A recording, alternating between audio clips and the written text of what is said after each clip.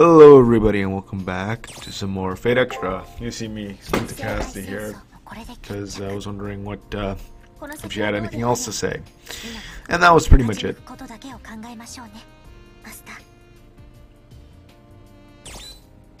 So let's leave the private room.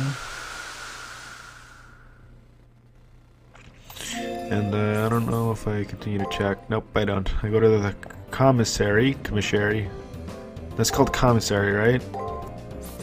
On to Google. I know I looked this up before, but I can't remember.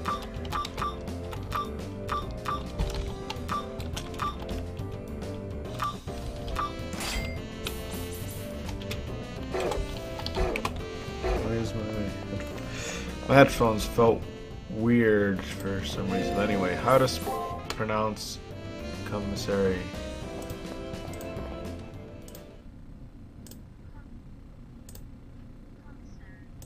Commissary, yes. Okay, we're good. Huh?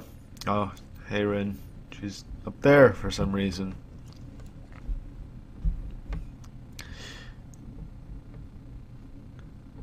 Interesting little tidbit here, I suppose. If you're playing the female character, uh, there she has a different pose than our male character here. Which is uh, something I suppose.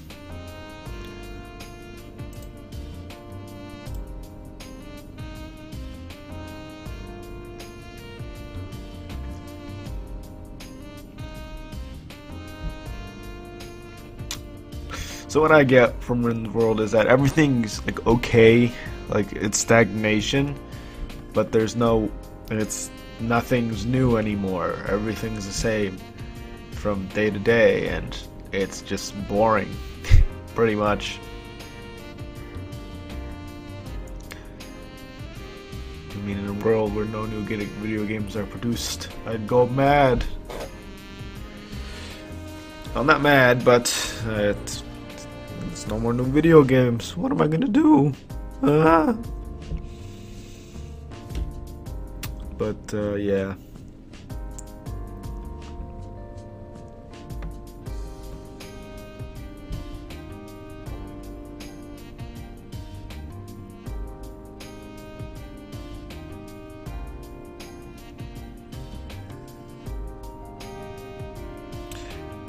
You know, when I was going through this cutscene originally, I really wasn't paying attention to what was going on. And uh, watching this video again, um, I barely understood what she said, mostly because I wasn't paying attention except near the end. I, I, I, made a mental note to pay attention to what she said when I came back to here, and I didn't. It was because I was watching. Uh, I uh, when I play uh, when I record, I usually have some background noise in the form of a YouTube video, a playlist of a game walkthrough for the uh, most of the time, and it was uh, I was doing that, and something interesting was going on, so I was more like watching that and doing this at the same time. So that's what I was doing. You know, I guess you know, talking about school-related things uh, considering this is a school we're in, and uh, I suppose it's somewhat related. A lot of the times, work in school for me is never difficult, just time consuming. I do it, it's easy. I, of course, I get one here or there wrong because I looked at a number the wrong way or I messed up my math just a little bit. And it's just time consuming a lot of the time. More more often than not, assignments they're never hard and they're never too boring. Like I'm engaged in it enough to complete it. I'm sure there are boring assignments out there, and I've had my fair share. For the most part, though, I've been able to complete assignment. I'm not having fun, but I'm trying to complete it because I have motivation to do so. And yeah.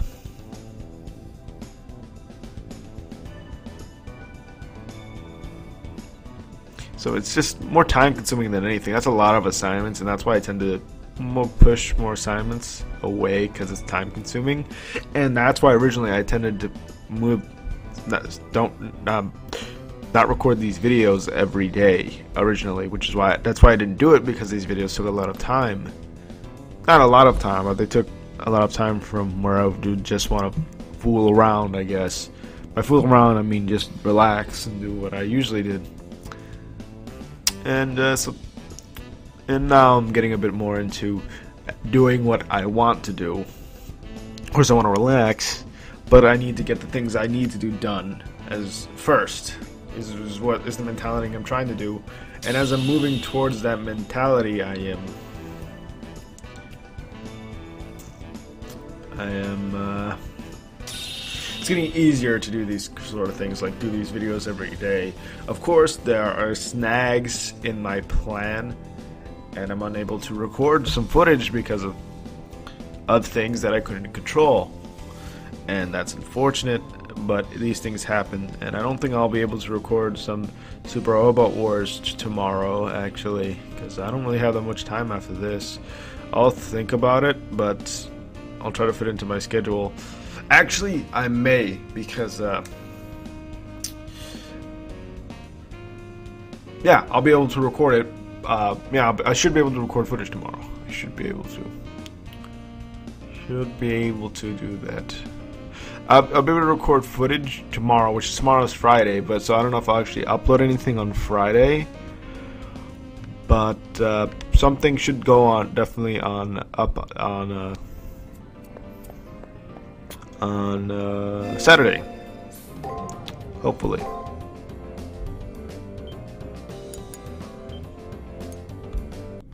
So uh, that's good.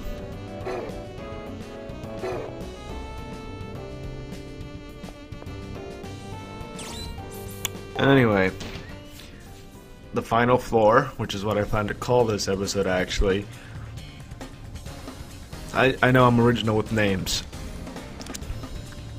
Creative with names, I should say. And uh, all this time, we were actually climbing up the sea, which I never really got from like going up upwards. I know everything looked looked better, but now that I think back on it, it actually kind of made sense that uh, as we got went up, uh, we, as we went through the, the weeks, we were actually going up in the in this uh, virtual sea here. If the first area, if you remember, was just dark blue throughout its entirety, just dark blue. And as you went up, the colors changed. I mean, the last floor wasn't anything amazing either. It was just like dark. so uh, the first floor made sense because it was like a deep sea. The first floor like the first floor overall in the arena in the first week. The first floor on this week though was meh. Could have done something with it, but they didn't.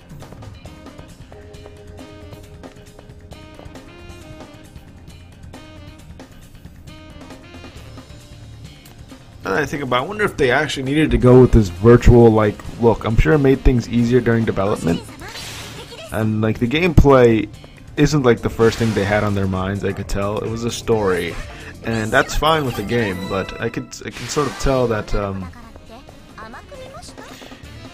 that the environments weren't like the arena environments weren't really their first priority priority and neither were enemy designs considering there is a lot of recolors they put more more of the effort into the overall story into the servants into the main characters that's where all the effort went into but into like the little the little the, they put a lot into the main meat into the game but the skeleton is sort of he, he not complete.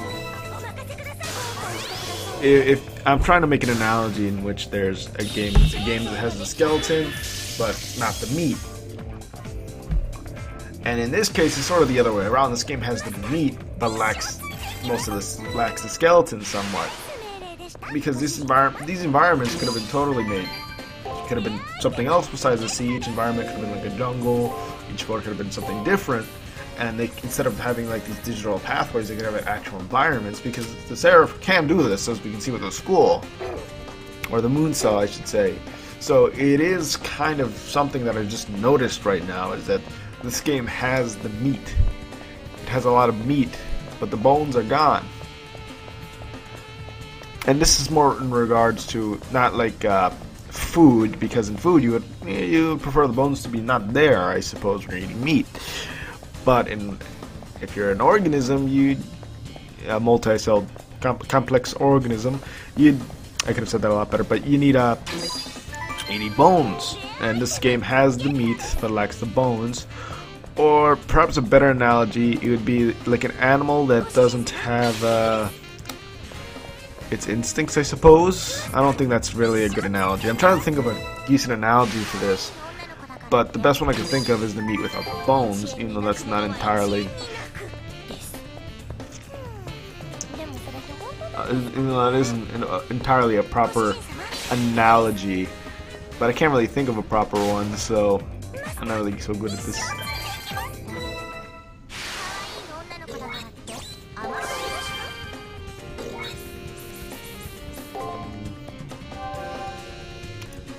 I don't think of a good analogy.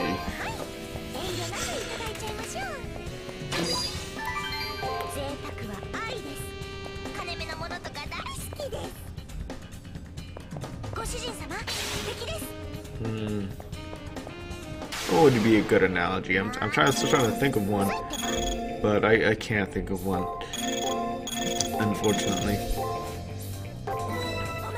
Yeah, another Nephilim, a rare monster. So you have plenty of chances to get uh, Merciful Sky.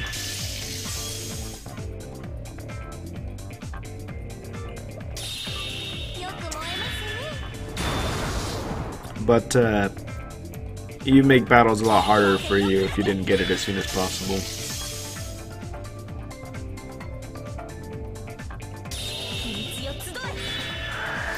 I am playing Fate Extra again uh, as of this as of as of this episode's uh, commentary recording. I did start playing Fate Extra a little bit, and I'm sort of getting back into it with uh, Saber. And uh, when you get the Matrix level, I do recommend you read that stuff because uh, even with Matrix level, Ally Matrix like level zero, maybe it's one. It might be one. I think I think it's actually one to be honest. I don't recall, but uh, if it's one, it actually has some like um, like interesting uh, backstory on the characters. Like uh, Saber has like migraines or whatever, and it's like she has like minor. She has pathetic magic resistance like she has like a special like uh, skill a skill that uh, negates like lower level mag- magic, but it's so like pathetic that it's not really helpful, and it's like even among her class, it's like low. So it, it, I found some of that kind of some of the stuff kind of funny, and it, it gives more insight on your servant. So I'd actually recommend reading that stuff because for the sake of moving with the videos, I just moved on and didn't really talk to the talk to the to talk to the uh, like the NPCs and stuff like that. Because if you talk to the NPCs, they, they do have a lot of they have interesting things to say. So I recommend talking to them.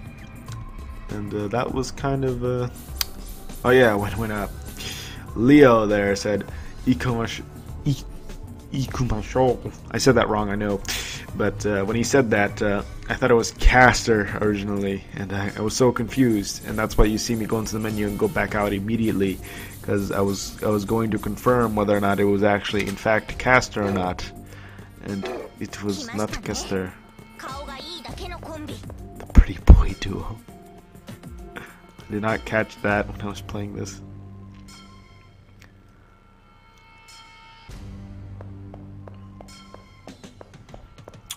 But yeah, after this week, everything should go back to normal in terms of video and uploading.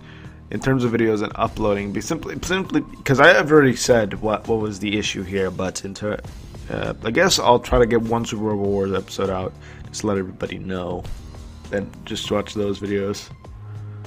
Eh, I'm sure if I don't upload for a few days, people won't get too mad. I'll suffer, but uh, I've been busy, a lot busy. Like I'll be able. Actually, hmm, I think I may be able to record um, in bulk and then just and then upload in bulk, essentially. Anyway, we're gonna fight uh, Gawain. Now, we pretty much would know everything about Gawain at this point, but I guess uh, just for the sake of gameplay, and you know exploring the arenas and stuff like that to get Matrix level E, we have to fight this guy this time and one other time just to learn stuff that we already knew. But I guess that's to actually confirm things rather than uh, just look things up, I guess. Because we know he's a saber. I mean, it's quite obvious he's a saber, but uh, then there's he could be an archer, like arch, like archer. in uh, like this, like our, you know, like uh, the archer you can pick as a as a servant. So that's something you can do.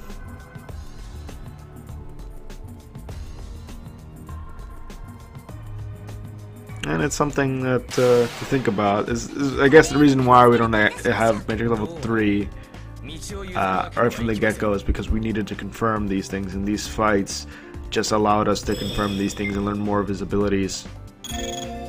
Um, yeah, just spam your skills, pretty much. I don't recall all the tactics here. But, uh, oh yeah. But Gawain and Leo will buff themselves, so on turn 2, you probably want to get put uh, Vanish, if not on turn 3. I forget which one is the right turn here. But other, otherwise, just spam your skills, and you should be fine, and keep your HP at full. That's all, overall what you want to do. And uh, you can actually hurt Gawain right now.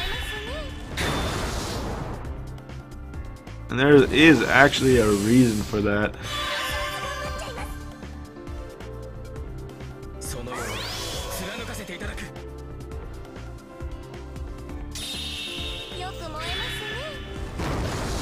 I'm not sure if this was in the actual like mythos or story, whatever you want to call it, of Gawain, but uh, supposedly when the sun's out, he's invincible.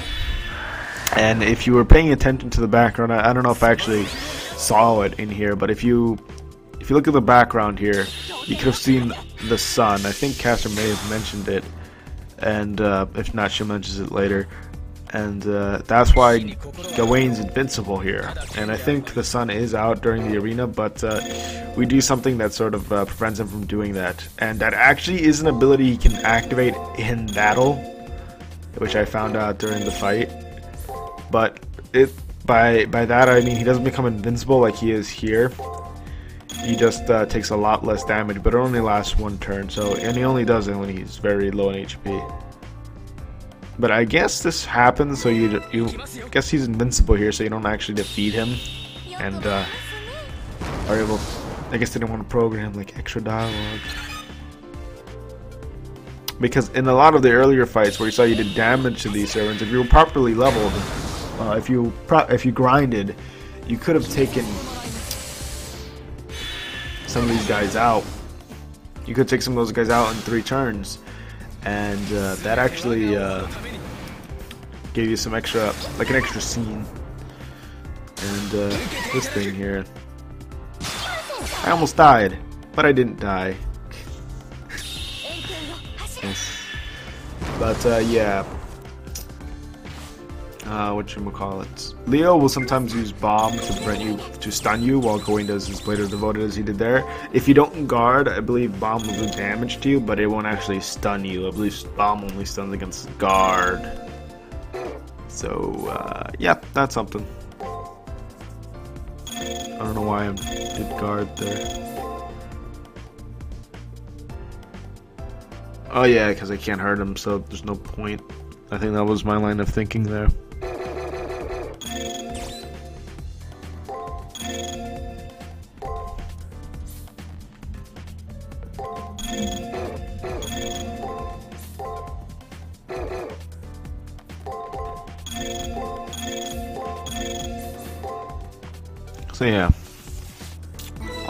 Do here survive three turns and you'll be fine. If you keep in mind the strategies I've told you already, then you should be fine overall. Especially if you're the other servant, because I noticed right off the off the bat that Saber, not not Gawain, is uh, can take a lot more damage than Caster. Caster is pretty weak out of all the servants, defensive wise. So. yeah. Anyway, this battle is over.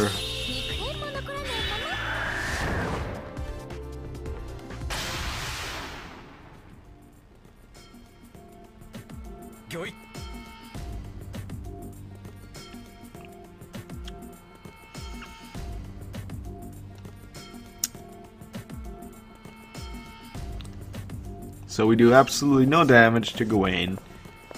And, uh... Yeah.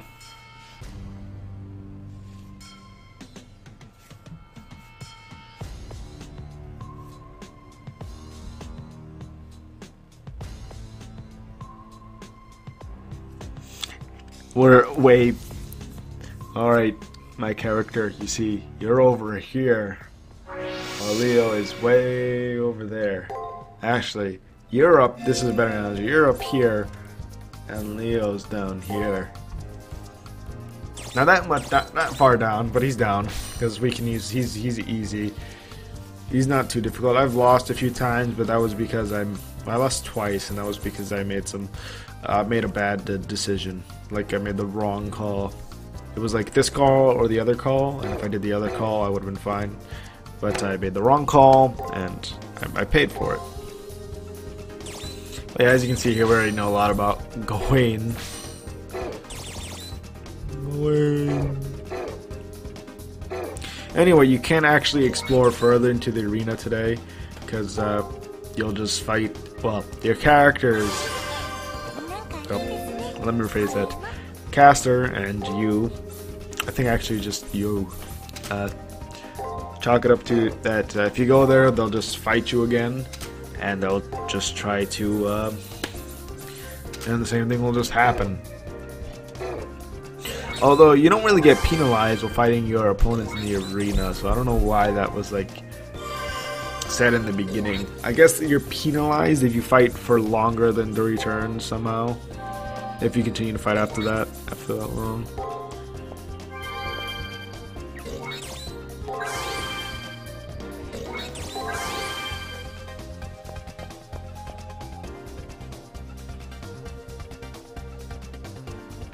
So yeah, he says I should be able to have a rematch if I catch up with him. And, uh, but, uh, yeah, so there's no point in going over there.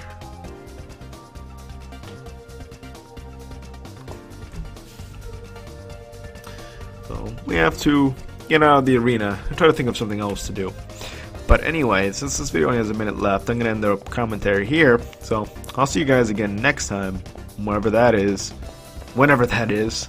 Bye.